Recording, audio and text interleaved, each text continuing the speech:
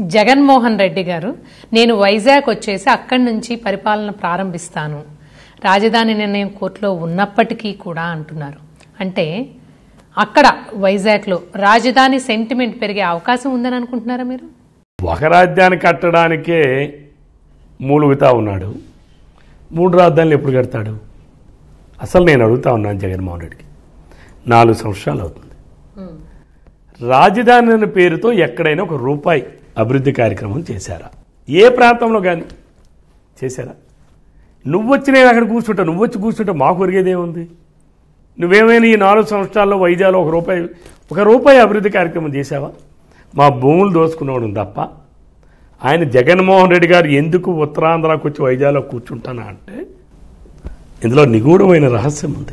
విశాఖపట్నం నుంచి శ్రీకాకుళం ఎండింగ్ ఇచ్చాపురం వరకు beach sands. ఆ బీచ్ శాండ్లో ఏడు రకాల మినరల్స్ ఉన్నాయి.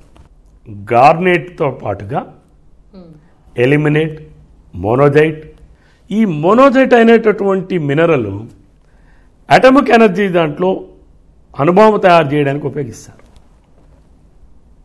ఒక కేజీ కొన్ని వందల కోట్లు చేస్తుంది.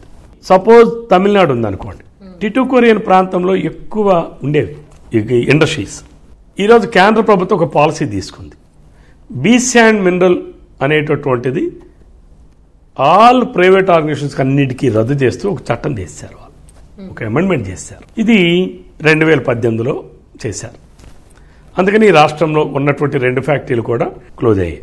అయితే ఇక్కడ ఏంటంటే మనం గమనించాల్సింది జగన్మోహన్ రెడ్డి అనేటటువంటి వ్యక్తి ఈ బీచ్ శాండ్స్ మినరల్ని ఏమిటండి రహస్యం అంటే చెప్తున్నాను దేశంలో ఏ రాష్ట్ర ప్రభుత్వం కూడా కోరలేదు. జగన్మోహన్ రెడ్డి ప్రత్యేకించి ప్రధానమంత్రి గారి దగ్గరికి వెళ్ళి మా ఏపీఎండిసి ద్వారా మేము చేస్తాము ప్రభుత్వం ఏపీఎండిసికి ఇవ్వండి అని చెప్పి ప్రత్యేకించి ఒక లెటర్ పెట్టాడు. ప్రత్యేక హోదా గురించి లెటర్ పెట్టలేదు. మరి వెనుకబడిన ప్రాంతాల అభివృద్ధి నిధులు ఇవ్వండి అని లెటర్ పెట్టలేదు. విశాఖపట్నం స్టీల్ ప్లాంట్కి నిధులు ఇవ్వండి అని లెటర్ పెట్టలేదు.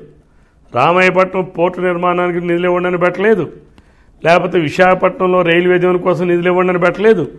ఇంకేమో చాలా ఇన్స్టిట్యూషన్స్ ఉన్నాయి రావాల్సిన ఉన్నాయి వాటికి ఏదో పెట్టలేదు కానీ జగన్మోహన్ రెడ్డి గారు ఒకసారి ప్రధానమంత్రిగా కలుస్తారు. ఎందుకు కలుస్తున్నాడు అబ్బా అని చూస్తే ముఖ్యమంత్రి గారు వెళ్ళి ఏపీఎండిసి ద్వారా ఏపీఎండిసికి విశాఖపట్నం టు ఇచ్చాపురం ఎండింగ్ వరకు ఉన్నటువంటి బీ శాండ్ మినరల్స్ని మాకు ఇవ్వండి లీజులు. అని చెప్పి పెట్టాడు. అటు ఏపీఎండిసి అనేటటువంటి ప్రభుత్వ సంస్థలకు ఒక పేరు పెట్టి తద్వారా తన తాలూకా మనుషులను పెట్టి సముద్ర తీర ప్రాంతంలో ఉన్నటువంటి బీచ్ శాండ్స్ ఏవైతే ఉన్నాయో అందులో గార్నెట్ కావచ్చు ఎలిమినేట్ కావచ్చు మోనోజైట్ కావచ్చు జిర్కాన్ కావచ్చు ఇలాంటి ఒక ఏడు రకాలు చాలా వాల్యుబుల్ మినరల్స్. ఈ ప్రాంతంలో ఎక్కువ శాతం వస్తుంది. దీనికి కారణం ఏంటంటే ఈ మన నదుల నుంచి వచ్చి సముద్రంలో కలుస్తాయి. ఇవి కొండల్లో కోనల్లో వర్షాలు పడి అక్కడ నుంచి వస్తుంటుంది. అందుకే మా నాగావళి నదిలో కూడా మా ఇసుకను కానీ చూస్తే బ్లూగా కనిపిస్తుంటుంది.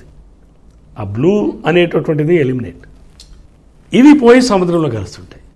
ఇది బీచ్ శాండ్స్ని అక్కడ పెట్టి బాక్సైట్ అక్కడే ఉంది కొలగొట్టాలి. లాటరైట్ ఉంది కొలగొట్టాలి. బీచ్ శాండ్స్ మినరల్స్ కొలగొట్టాలి. ఈ ప్రపంచంలో కుబేరుడిగా నేనే ముందుండాలనేటటువంటి ఒక దుర్బుద్ధి దురాలోచనతోనే జగన్మోహన్ రెడ్డి వచ్చి నేను మార్చి నుంచి కూర్చుంటా. నువ్వు కూర్చొని ఏం చేస్తావు? ఎన్నాళ్ళు మోసం చేస్తావు? నువ్వు నీ అబద్ధాలన్నీ అయిపోయినాయి. ఎందుకంటే రాజధాని నువ్వు ది క్యాపిటల్ అనేటటువంటి విభజన చట్టంలో ఉన్నటువంటి ఆ పదానికి విరుద్ధంగా నువ్వు మూడు రాజధానులు చేయడానికి నీకు అధికారం లేదని చెప్పి నీ శాసనసభకు అధికారం లేదని చెప్పి స్పష్టంగా తీర్పిచ్చారు. తీర్పు రాకముందే నువ్వు రద్దు చేసుకున్నావు. ఇప్పుడు కోర్టు తీర్పు వరకైనా ఆగావా? నువ్వు పెట్టిన చట్టాన్ని నువ్వే విత్డ్రా చేసుకున్నావు. సిఆర్డీఏ రద్దు బిల్లు విత్డ్రా చేసుకున్నావు. ఆరు నెలల తర్వాత సుప్రీంకోర్టులో అప్పీల్ వేసావు appeal still it is pending. ఏ రకంగా రాజధాని వస్తుందమ్మా? నీకున్న సమయం ఏంటుంది అసలు? ఇంకో సంవత్సరం ఇప్పుడు ఆల్రెడీ ఫిబ్రవరి.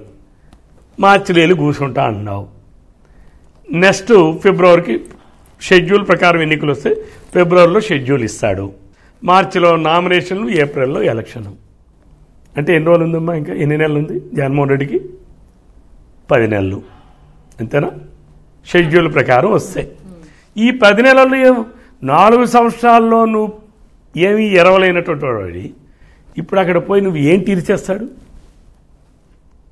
ఎవరు? అంటే ఉత్తరాంధ్ర ప్రజలంటే అమాయకులు అనుకుంటున్నారా? మీరు చాలా చైతన్యవంతులు. ఉత్తరాంధ్ర ప్రాంతంలో ఉన్నటువంటి ప్రజలకి ఇంటలెక్చువాలిటీ చాలా ఎక్కువ. మేమేం అమాయకులం కాదు. విశాఖపట్నం మెట్రో రైల్ కోసం లేఖలు రాయడం. కానీ విశాఖపట్నం నుంచి శ్రీకాకుళం ఎచ్చాపురం వరకు ఉన్నటువంటి బీచ్ అండ్ మినరల్స్ని కైంకర్యం చేయడం కోసం మాత్రం మీరు వెంటనే ఏపీఎండిసికి మీరు ఇవ్వండి మేము ఇచ్చేస్తామని చెప్పి మాట్లాడతాడు అంటే జగన్మోహన్ రెడ్డి వాళ్ళ నాయని కూడా వాళ్ళ తాత కూడా మినరల్స్ని లూటీ చేయడం ద్వారా కోటీశ్వరులు అయ్యారు అక్కడ వెరైటీస్ గనులు ముగ్గురాయి గనులు ఈరోజు ఇక్కడ ఆంధ్రప్రదేశ్ రాష్ట్రంలో ఇప్పటికి కూడా భారతీయ సిమెంట్స్కి లాటరైట్ పేరుతో బాక్సైట్ వెళ్ళిపోతూ ఉంది. గ్రావెల్ పేరుతో లాటరైట్ పోతూ ఉంది. వాడికి ఏముండదు ఎవడాడు రోజుకి వందల లారీలు వెళ్తున్నాయి. ఈరోజు కేవలం జగన్మోహన్ రెడ్డి రావడానికి ఉత్తరాంధ్రలో రిసోర్సెస్ ఉన్నాయి. ఆ రిసోర్స్ని గుత్తాధిపత్యం చేసుకోవడం కోసమే జగన్మోహన్ రెడ్డి నేను వైజాగ్ వెళ్ళి ఉంటా. నువ్వు వస్తే ఏంటి పూజీరిసేది అక్కడ?